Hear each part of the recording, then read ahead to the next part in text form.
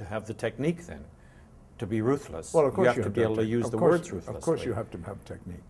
Yeah. And how did you come? How did you come to have such dexterity and skill with the words? I see your skill with the words like Paddy Crean's skill with a sword. You can take a word and place it anywhere, both with will and power, but also with blood and. Yeah, well, and- I think it started when I was young. My my family, my mom, mom, they adored writing, they adored poetry, and they instilled in me at a very young age an, a, a love for language. This is before the cyclops eye of television had insinuated itself into our lives, and. Um, so we read, actually, strange, a funny old-fashioned thing called reading, and I think it started then. I, I loved poetry, and I learned reams of it when I was a kid. Why? Why? Because I loved the sound of it. I loved, the, I loved the music it made. It, uh, I, I loved the sort of romance of it, of language, and the and the imaginary uh, world that it created for you. It was a wonderful escape. So you said it to yourself, uh, said it out loud in your room or on the street, or Oh yeah, I'd do it anywhere. Also in the classroom. I, I would actually do bits of Henry V in the classroom and in high school. in high school. And they'd throw things at me, you know, I would help to throw books at me. But sometimes I could silence them, I noticed, if I yelled at them loud enough. And how do you investigate a word? How do you get into a word? Well, I, I, I love um, stresses, I, uh, things that don't that don't interest most actors today, because they, they just want to be real, you know.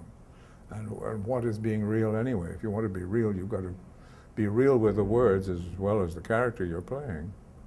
And uh, my mom was a great friend of Martha Allan's, who, who ran the, the MRT.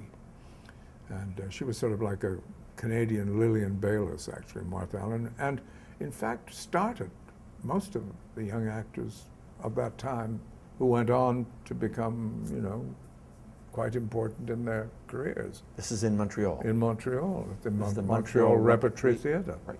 And she founded it. She had money, Martha Allan, and um, she did it all. And she brought directors in from everywhere. And it, although it was an amateur organization, it had a very professional ring to it. And, and people who came from England admired it very much. They, they, um, uh, so I think we grew up in a sense with, with poetry and a very lovely lady called Eleanor Stuart, who was a voice coach, a very important voice coach in this country, taught us also how to speak, taught me, John Colicos, um, how to, she was, she was a wonderful shaper of words. Do you remember what she said actor. about words? Do you remember how she taught you?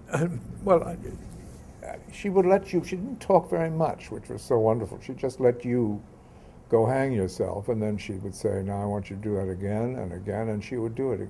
You would do it again and again until she felt that you had obeyed the rhythm sufficiently so then you could be natural with it. She was very modern, way ahead of her time, strangely enough, even though she as a person didn't particularly appear modern. She was rather old fashioned. And did she talk about rib reserve breathing and resonators and Yes, she, she did up to a point.